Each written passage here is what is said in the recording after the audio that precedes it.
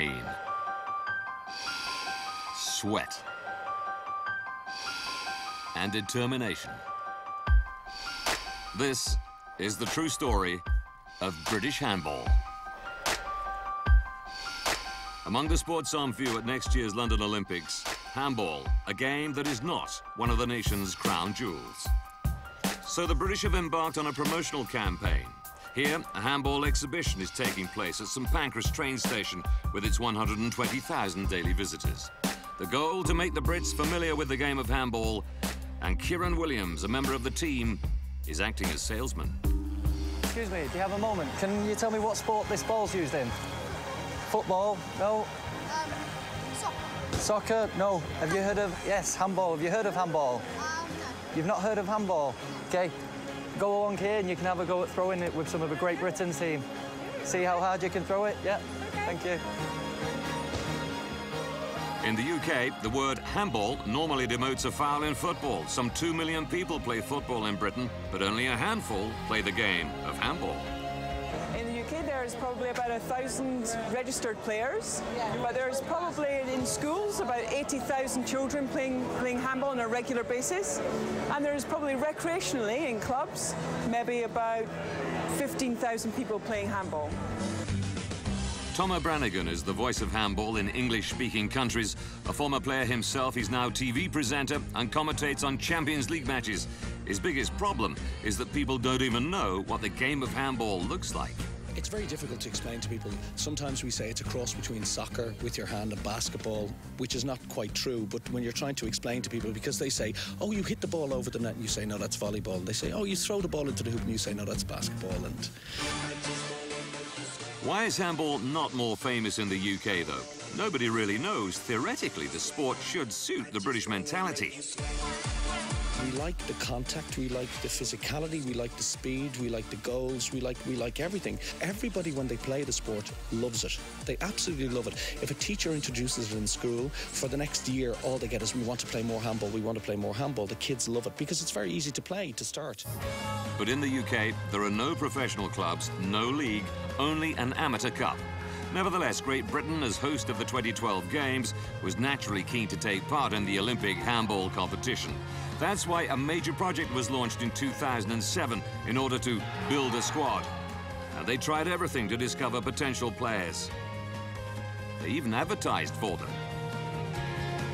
It was um, on the BBC website. Just uh, I was actually currently working in London, and um, I just read that they were going to have athletes in every sport, uh, including the minor sports like volleyball and handball. So was, it got me interested, and I contacted them. Seb Prieto has a French father, but his mother is English, and after a number of trials, he was selected for the British team. Back in 2007, he was working in insurance, so he had to make a choice dedicate himself to his job or the forthcoming Olympic Games. The main point that came across from everyone was insurance will be there the rest of my life until I'm 60 years old. So, and the Olympics only comes once. So that was the, that was the reason.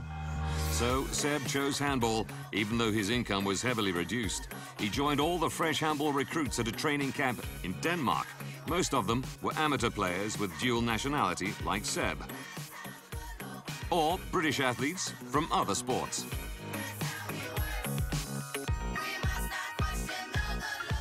We were all pretty similar level, and uh, I'd say we weren't at the best level at that time. But uh, we had a lot more ambition than most people at the academy that weren't part of the project. Um, so whenever they went out to party, then we were just thinking a bit more about it. Or whenever we went to watch a handball game at high level, we wouldn't be spectating, we'd be analysing the game and just learning all the time. And this is why we've improved so fast. But after Beijing 2008, cuts in funding forced the players to leave their academy in Denmark. And in order to stay in touch with handball, they spread out to join clubs across Europe.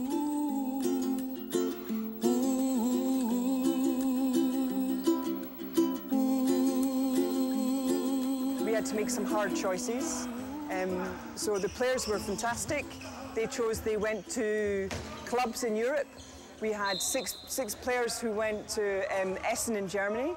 Um, they stayed in a two-bedroom apartment. um, for half a year. This is amazing what the, these athletes have done. Um, you know, sharing rooms um, for periods, sleeping on floors and everything else. So the players have had to do a lot of sacrifices.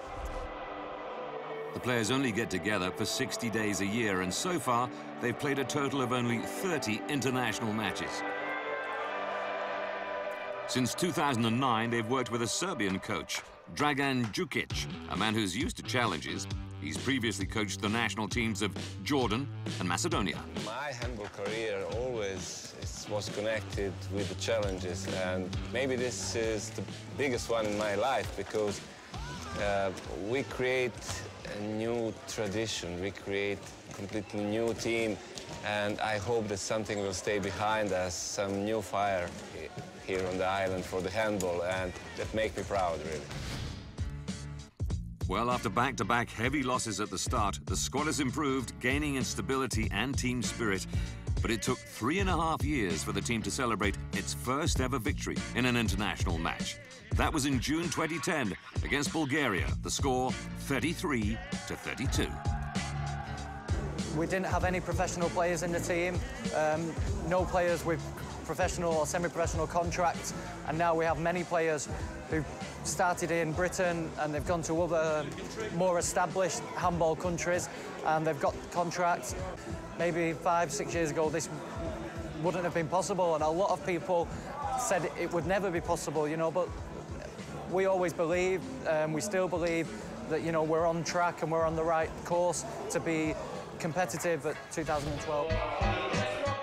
After all the sacrifices and all the work they've put in, the players hope they'll now be able to use the Olympics on home soil to really launch the sport in the United Kingdom. It's the biggest sporting event in the world, you know. It's almost like, you know, it's the best shop window in the world for everybody who, you know, hasn't seen it before to see the sport um, to experience it live and to see how it's played on the highest level. It was in Sydney. It was voted the most interesting sport, and they didn't know what handball was either. And the, then everyone just started to get interested in handball, and this is what we're hoping as well. So Britain are in the same situation as the Australians were at the Sydney Olympics. The Aussie team was created especially for those games in a country with absolutely no handball tradition. The Australians finished 12th out of 12. 11 years later, that team still exists with a new generation of players.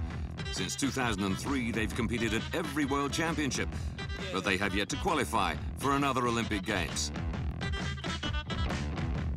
Some of the Aussies play in Europe nowadays, like Bevan Calvert. Back in 2000, he was only 14 and watched the games on television.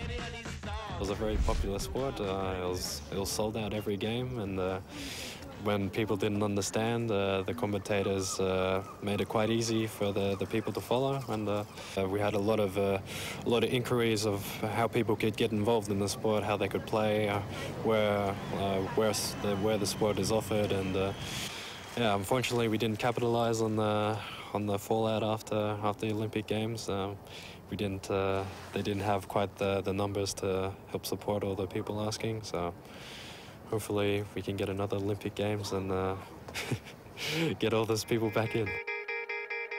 Yes, the Games changed virtually nothing for Australian handball. Today, no more than 1,000 people play the sport across the entire country.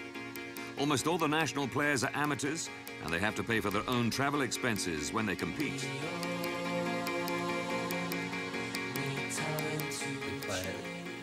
Because we love the sport and uh, it's not anything for fame or for money. There's there's none of that in Australia and uh, yeah, the organisation where we're trying to promote it a bit more, get a, get more people involved, but. Uh, as it stands now, we don't have many officials, and uh, yeah, players are, are always self-funding the, the sport.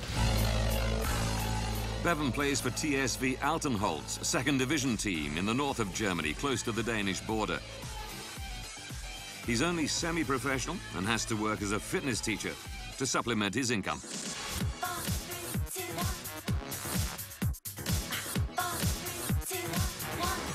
Definitely. I'll be playing this game until I can't walk anymore. um, it's, uh, yeah, it's uh, brought me so many things that uh, I wouldn't have expected. I'm living in Europe now. Um, I love everything uh, about the sport, and uh, yeah, I'm hoping that I can give back as well. You know, uh, give my experience onto the new generation of uh, of handballers, and uh, yeah, it's definitely within in, in my future. It's a it's been a, an important part of my life now, and I'm not going to give that up. Bevan Calvert's experience is valuable. That's why he met the British team, to share his knowledge with them and help them to avoid making the same mistakes.